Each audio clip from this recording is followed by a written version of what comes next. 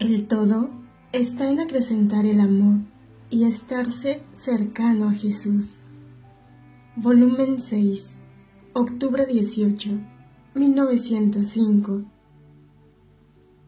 Mientras que el todo está en que las acciones sean precedidas por el amor, en llevarlas a cabo, reunir cuantas más cosas pueda para acrecentar el amor y estarse tan cercano a mí para beber de la fuente de mi amor, para sumergirse todo en mi amor.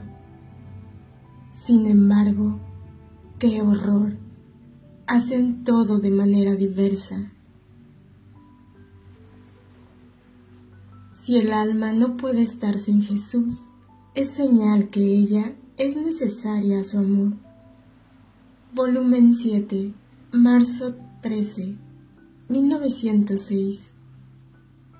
Hija mía, si tú no puedes estar sin mí y tanto te soy necesario, es señal de que tú eres necesaria a mi amor, porque según uno se vuelve necesario a otro, es señal que aquel es necesario al otro.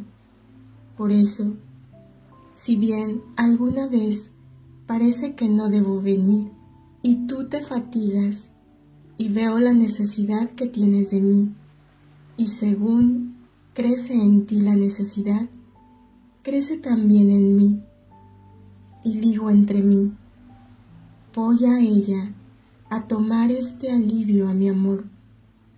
Y es por eso que después de que te has fatigado, yo vengo.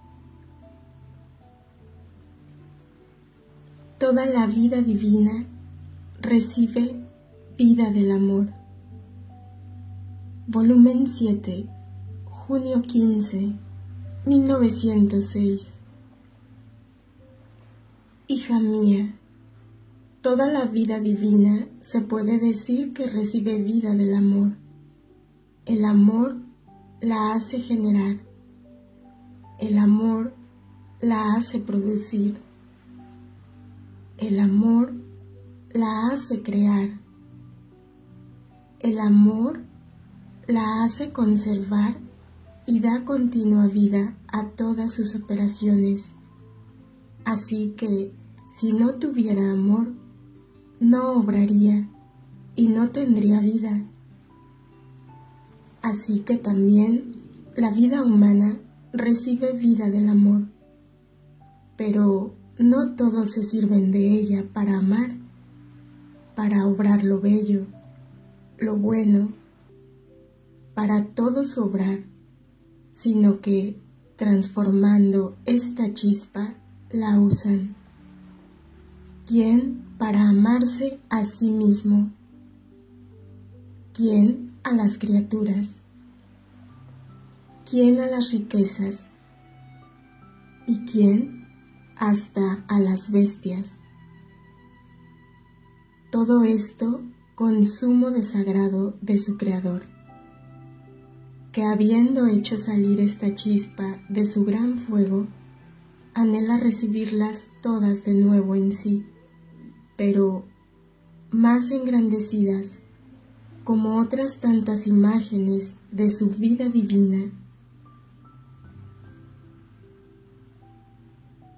Se ama a un objeto cuando se le quiere hacer propio Volumen 7, julio 28, 1906. Solo se puede decir que se ama, se estima y se respeta un objeto cuando se lo quiere hacer propio. Y cuando no se lo quiere hacer propio, significa que no lo ama. Y por lo tanto no se le tiene estima ni respeto. Si me quiere hacer suyo, significa que me ama, me estima y me respeta. Como el recto obrar es viento para encender el fuego del amor. Volumen 7, octubre 4, 1906 El recto obrar mantiene siempre encendido el amor divino en el alma. En cambio, el recto obrar no son tantos soplos que encienden este fuego divino en el alma, sino un continuo soplo que lo tiene siempre encendido, y es el soplo omnipotente de un Dios. Los bienaventurados que más aman al Señor, no importa que hagan poco. Volumen 7, octubre 16, 1906. Pero, ¿quiénes eran los afortunados que gritaban de más y que hacían resonar en todo esta nota, amor, y que aportaban tanta felicidad al cielo? Eran aquellos que habían amado más al Señor cuando vivían sobre la tierra. Ah, no eran aquellos que habían hecho cosas grandes penitencias, milagros. Ah, no, jamás. Solo el amor es el que está sobre todo, y todo queda detrás de él. Así que quien ama mucho y no quien hace mucho, será más agradable al Señor. Quien siempre ama a Jesús no lo puede desagradar. Volumen 7, enero 21, 1907.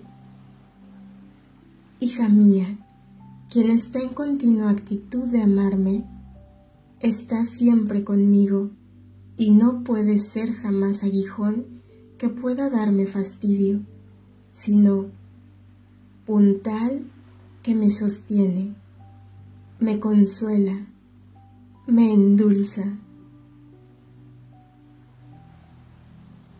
El amor exenta el purgatorio. Volumen 8, julio 14, 1907. Hija mía, es verdad que la confesión remite las culpas, pero la cosa más segura y cierta para exentar el purgatorio es el amor.